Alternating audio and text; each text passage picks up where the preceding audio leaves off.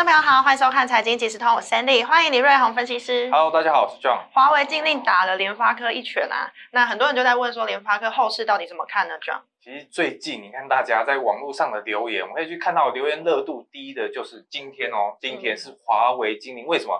因为联发科直接打到跌停嘛，真的所以很。多人就会去问，哎，到底发生什么事情？我的联发科到底还有没有救？到底怎么办？嗯你看这边新闻就是网络上那个朋友嘛，借借钱钱买买联发科七百二十元进场，哎，不能笑。不要就这样，他七百二十元进场，他上网就问，哎，到底该怎么救？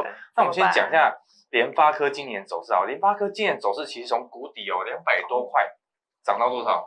六百多，涨到没有涨到快八百快块啊，八百，它涨到快八百块。那原因是什么？原因是因为华为禁令出来之后，其实联发科是不受影响。当初啦，就今年初的时候，联发科是不受影响，因为他们之前是规定，就是说你的货一定要直接出给华为，嗯，才被归为在那个华为禁令里面。是可是联发科是出一项产品，然后有联发科用，然后也有其他用，所以哦这个就是哎 OK 的，所以联发科就接到华为的大单，所以一路从两百多块涨到多少？涨到快八百块。但是昨天的新闻就是什么？高通眼红了，高通一直告状到什么？告状到那个美国那个政府那边去，说哎，联发科怎么可以这样？因为联发科也是做晶片，高通也是做晶片，联发科好，哦，就是高通烂嘛，就是高通弱嘛，所以会眼红啊，竞争对手眼红，所以一撞告到联发科，所以华为禁令哈、哦，因此重新的定义，哦，你只要是在终端卖出的，或是中间的，或是什么代理商嗯的，全部都要在华为禁令的规范里面。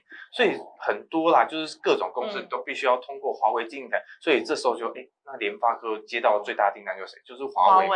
所以联发科也直接就做跌停的动作。那我们要说，哎，联发科到底还有救吗？啊我们看一下那个外资给联发科，就这件事情之后，外资怎么去看联发科？嗯基本上啊，都是。好、有些有些是调降，但是也有些哦是觉得，哎，联发科其实被错杀，是可以买进去。哦那他们的论点是，联发科因为是接华为订单嘛，那嗯华为订单没了，那至少还有 OPPO，还有小米，对哦，还有 vivo，哦，这几家大陆的手机品牌厂可以弥补掉华为手机的这个缺口，但我个人认为是不够嘛？很难啊、很难，我猜这个外资报告是因为外资也也持有很多联发科，那我是自己预测，那目前看来，我觉得这种不确定性太高的东西，我们就建议不要碰。那还有像什么利基跟基力，也我跟你讲一下累，利基，利基也是连打两根，连打两根跌停下来。那那个其实利基自己有说什么？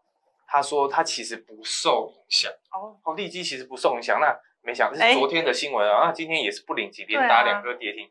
那我必须说一件事情啊，不受影响是公司自己说的嘛？有很多公司都说，哎、我们的那个出货会好还是怎样？嗯那市场不领情就是不领情，你也拿它没有办法。所以我这边建议一件事情，就是你买股票的时候，切记一件事情，不确定因素太高的东西，尽量不要去碰。哦，哦，因为我们说真的，我们也不是神文，也不是川普，我们真的不知道华为禁令该怎么走。嗯，有可能说，哎，一下好，一下不好啊，就跟上次中美贸易战一样，一下课关税，哎，一下就哎又不克了。那股市这边上上下下起起伏伏，我觉得这种东西还是不要去碰。那所以太难的预测东西，我就不要去碰。嗯那目前这两档股票就是我们最近才在注意的哈，就一个是乳胶手套嘛，那一个是 A B F 窄板。那如果你有长期看我 Telegram 都知道这两档股票的时候，我先跟各位说，这两档股票都还可以做，他们其实不受华为禁令影响，然后也不受最近的。哦，电子业什么嗯修正？哈、他们两个是目前都已经满载到不行，哇，就是什么比较好预测嘛，你就已经知道它满载了，嗯你就比较好预测它后面才能后面的走势怎么去走。那想知道这两档股票，其实可以到我们的 Telegram 主页去观看。是感谢 John 的分享，想要收到最及时的财经消息，一定要加入 John 的 Line at 和 Telegram 财经即时通，我们下次见，拜拜。谢谢大家。